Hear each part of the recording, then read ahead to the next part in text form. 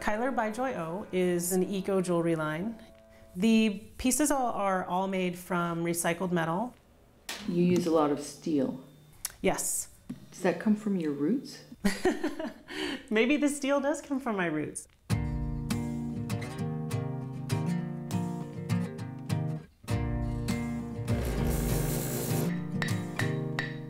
I was born in Charleroi, Pennsylvania. It's a little suburb southeast of Pittsburgh. Steel, steel country. My family is pretty much blue collar. Um, my uncles all worked in the steel mills. My grandfather worked in the steel mills. My dad was the only one that didn't go to the mills and he did retail.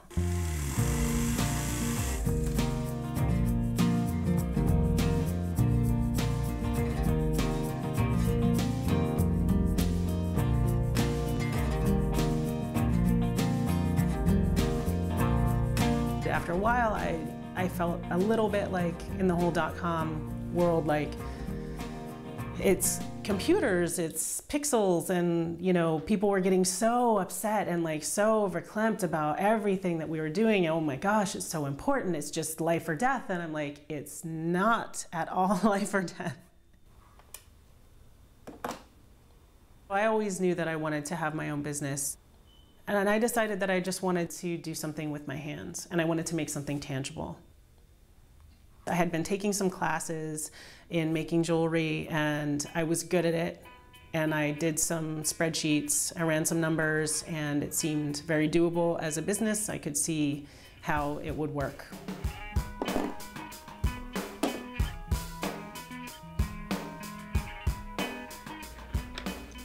I was very naive, actually, when I started my business. I knew that I didn't know, but I had no idea how much I didn't know, which is good because the main crux of being an entrepreneur is that you have to be willing to take action every day.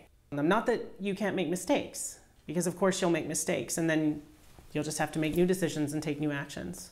But it's really about being able to move forward and not get paralyzed.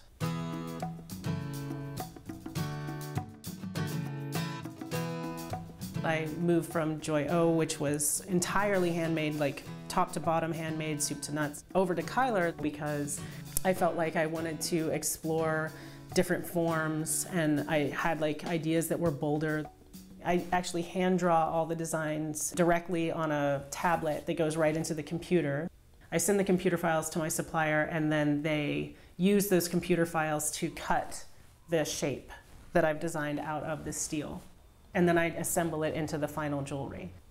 The amount of skill that is required to assemble a Kyler piece is a lot less than it was for all the handmade aspects that went into Joy O. So Kyler has the opportunity of scaling to volume. I always looked at it as a growth opportunity.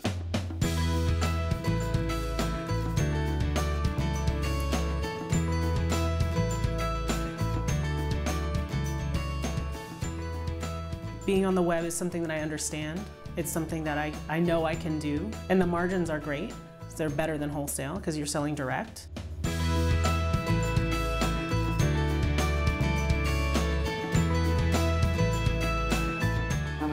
Necklaces like that will you make? Is it a limited edition? Is it a... You know, I've thought about doing limited editions, but I have not done limited editions yet. I'm not so huge that the editions are that big anyway. So anyone who purchases from me now can consider it a limited edition.